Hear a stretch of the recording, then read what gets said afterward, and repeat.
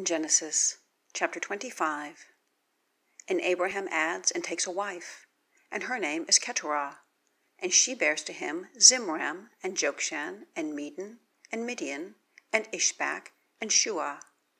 And Jokshan has begotten Sheba and Dedan. And the sons of Dedan were Asshurim, and Letushim, and Leummim.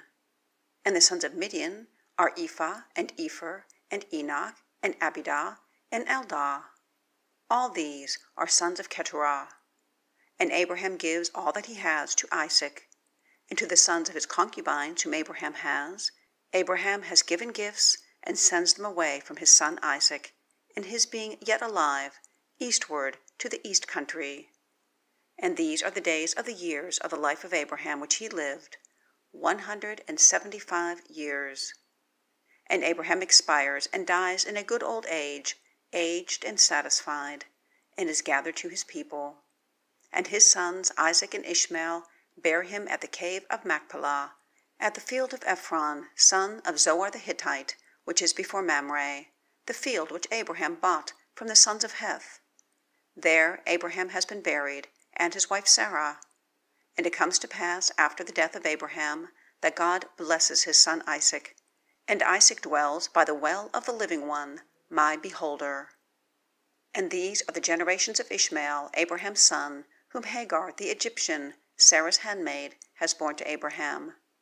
And these are the names of the sons of Ishmael, by their names, according to their births.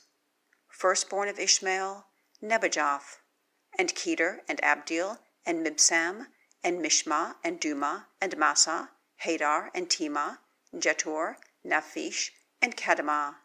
These are sons of Ishmael, and these are their names by their villages and by their towers, twelve princes according to their peoples. And these are the years of the life of Ishmael, one hundred and thirty seven years.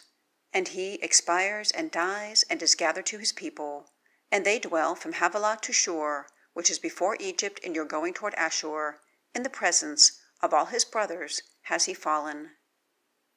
And these are the generations of Isaac, Abraham's son. Abraham has begotten Isaac, and Isaac is a son of forty years in taking Rebekah, daughter of Bethuel the Aramean, from Padan Aram, sister of Laban the Aramean, to him for a wife. And Isaac makes plea to Yahweh before his wife, for she is barren.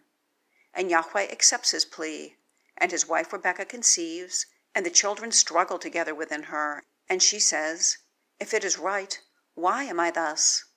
And she goes to seek Yahweh. And Yahweh says to her, Two nations are in your womb, and two peoples from your bowels are parted. And the one people is stronger than the other people, and the older serves the younger. And her days to bear are fulfilled, and behold, twins are in her womb. And the first comes out all red as an hairy robe, and they call his name Esau. And afterward his brother has come out, and his hand is taking hold on Esau's heel, and one calls his name Jacob.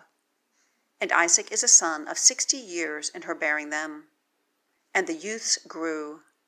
And Esau is a man acquainted with hunting, a man of the field. And Jacob is a plain man, inhabiting tents. And Isaac loves Esau, for his game is in his mouth. And Rebekah is loving Jacob. And Jacob boils stew, and Esau comes in from the field, and he's weary.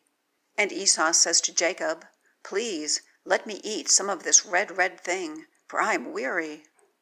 Therefore one has called his name Edom. And Jacob says, Sell your birthright to me today. And Esau says, Behold, I am going to die, and what is this to me, a birthright? And Jacob says, Swear to me today. And he swears to him, and sells his birthright to Jacob. And Jacob has given bread and stew of lentils to Esau, and he eats and drinks and rises and goes. And Esau despises the birthright.